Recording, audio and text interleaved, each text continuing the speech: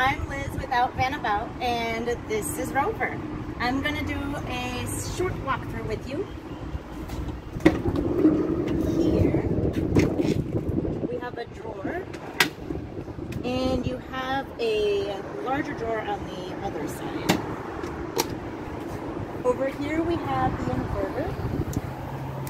The inverter converts the 12 volts of power to the 110, 115 volts to utilize your outlets. So you have an outlet here and you have an outlet on the wall, which I'll show you in a bit. Just remember once you're done using it, turn off the inverter, otherwise it will continuously draw power from your battery.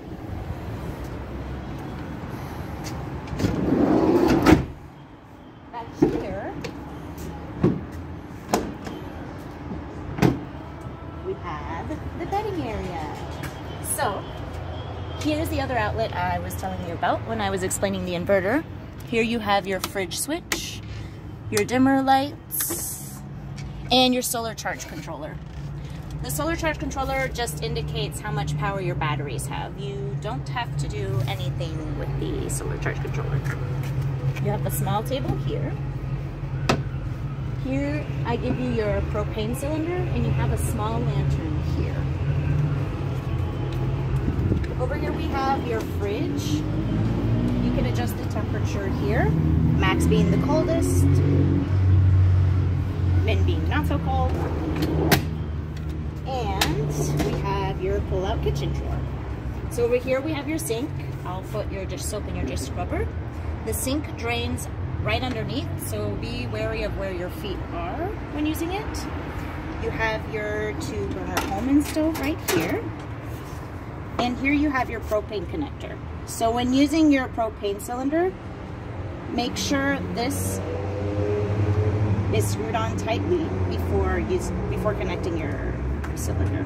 Pop off the black cap and you simply just screw your cylinder in.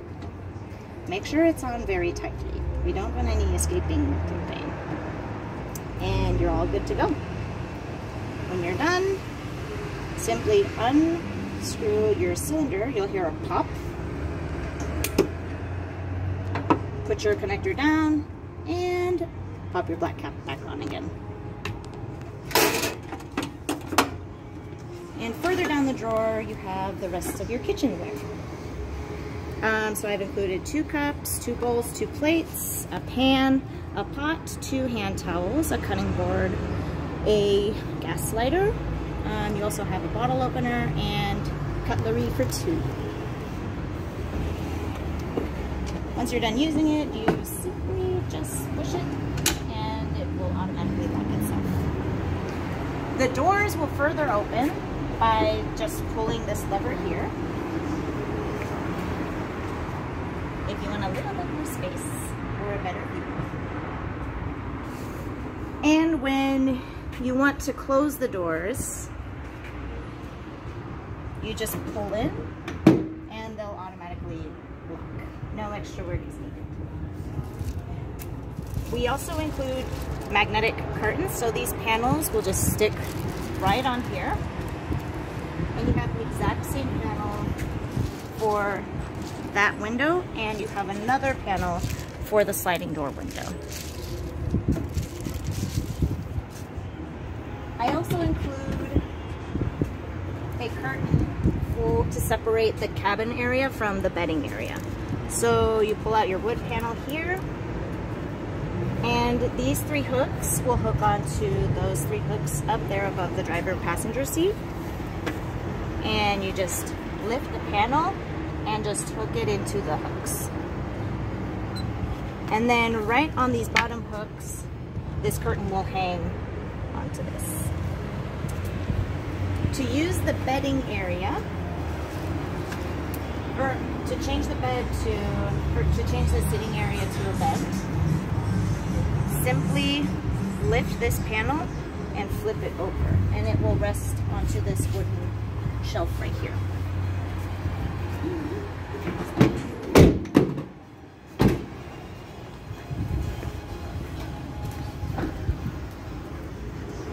Here we have the driver's seat, so you have your automatic mirrors, you have your gas lever and your hood lever. And everything else that a car has. What else to say about that? um, oh, actually, wait, go back in. Oh, that's me too. Good.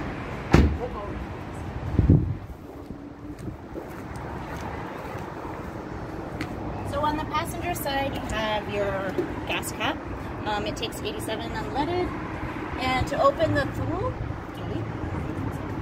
put the key in, turn to the right, key in, turn to the right, and it'll just pop open. And then just remember to close it and lock it when you're done using it, because we don't want anything flying. In case you have any other questions, I include a binder here in between the driver and passenger seat and it basically just explains everything that I have mentioned here in this walkthrough.